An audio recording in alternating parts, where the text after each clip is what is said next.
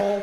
Hey, what's up, guys? Xane Vlogs here. I'm sitting here with Jade, and the uh, stuff, the footage that you're just about to see was from earlier today, and um, what we did was we, And no, I'm not playing GTA.